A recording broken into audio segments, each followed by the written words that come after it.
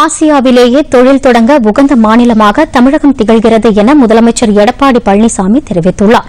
சென்னையை அடுத்த ஸ்ரீபெரும்புதூரில் அமைந்துள்ள சியட் டயர் தொழிற்சாலையை திறந்து வைத்து பேசிய அவர் ஆசியாவிலேயே முதலீடுகளை அதிகம் ஈர்க்கும் மாபெரும் மாநிலமாக தமிழகம் திகழ்கிறது என்று கூறினார்.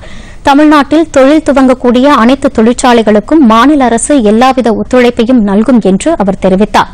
சமூக மேம்பாடு பொருளாதார வளர்ச்சி என துறைகள் தோறும் சிறப்பிடம் பெற்று அனைவருக்குமான வளர்ச்சியை தொடர்ந்து உறுதி செய்யும் ஒரே மாநிலம் தமிழ்நாடு என்று அவர் குறிப்பிட்டார். தொழில் தொடங்குவதற்கான நடைமுறைகள் எளிமையாக்கப்பட்டிருப்பதாகவும் அதிக வேலைவாய்ப்பு வழங்கும் தொழிற்சாலைகளை ஊக்குவிக்க சிறப்பான சலுகைகளை தமிழக அரசு வழங்கி வருவதாகவும் முதலமைச்சர் தெரிவித்தார்.